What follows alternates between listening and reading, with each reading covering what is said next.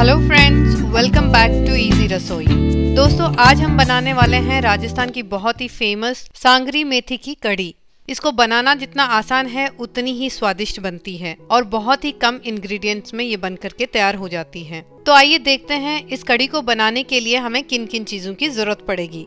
तो सबसे पहले हम सूखे मसाले देख लेते हैं। दो टेबल स्पून धनिया पाउडर एक टेबल स्पून हल्दी पाउडर कड़ी के अंदर हम हल्दी पाउडर थोड़ा सा ज़्यादा डालते हैं। आधा टेबल स्पून लाल मिर्च पाउडर और स्वाद के अनुसार नमक।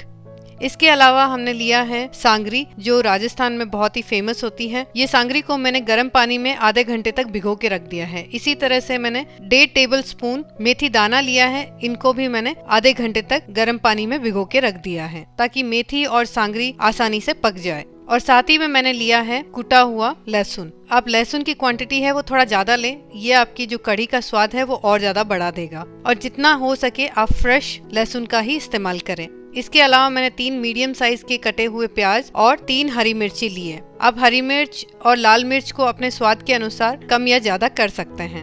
तो ये तो थे हमारे सारे इंग्रेडिएंट्स इसके अलावा ये मैंने एक लीटर छाछ ली है और इसके अंदर दो टेबल स्पून ऊपर तक भरे हुए बेसन मिलाया है। इस बेसन को अपने हाथ की सहायता से अच्छे से मिक्स कर लें, ताकि इसके अंदर किसी भी तरह की कोई गुठली ना रहे।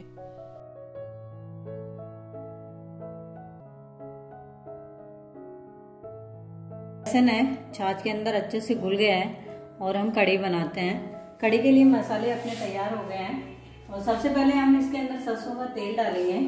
दो टेबल स्पून मैंने इसमें सरसों का तेल डाला है और इसको हम गरम करेंगे। अब इसके अंदर राई ऐड करेंगे। थोड़ा सा जीरा भी ऐड कर देंगे।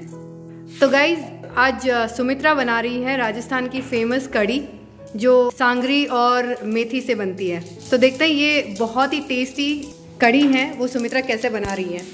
हमारा राई और जीरा जो है वो पक गया है और अब हम इसके अंदर डालेंगे ये प्याज और हरी मिर्च। प्याज को हमें ब्राउन होने तक पकाना है।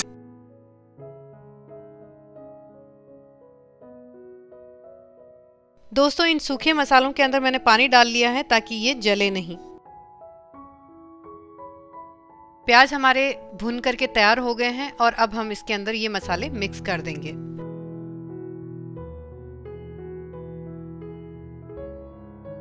दोस्तों, हमारे ये मसाले जो हैं वो आधे पक चुके हैं और इसी टाइम पे हमें डालना है ये कूटा हुआ लहसुन।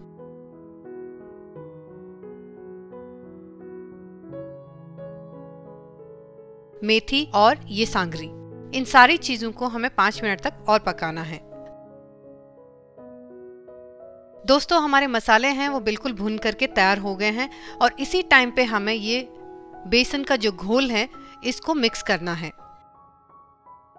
ये बेसन का घोल डालते समय ध्यान रखना है कि हमें करछी को कंटिन्यूसली घुमाना है, नहीं तो ये छाछ जो है वो फट जाएगी। जब तक इस मसाले के अंदर उबाल नहीं आ जाता है, हमें कंटिन्यूसली इस करछी को घुमाते रहना है। 10 से 15 मिनट तक हमें इस करछी को इसी तरह से घुमाते रहना है और इस कड़ी को पकाना है। हमें ऑलमोस्ट 10 मिनट हो गए हैं और ये कड़ी जो है वो गाढ़ी होने लग गई है। एक बार उबाल आने के बाद में आप स्लो फ्लेम पे इस कड़ी को इसी तरह से पकने दें और बीच बीच में करछी को हिलाते रहें। दोस्तों 20 मिनट हो गए हैं और ये हमारी कड़ी बन करके तैयार है। अब हम इसके अंदर हरा धनिया डाल देंगे और गैस को बंद कर देंगे। तो दोस्तों, आशा करती हूँ कि आपको ये डिश पसंद आई होगी। अगर आपको ये वीडियो अच्छा लगा है तो इसको लाइक करें और अपने फैमिली और फ्रेंड्स के साथ में शेयर करें। Once again, thank you so much for watching this video and take care.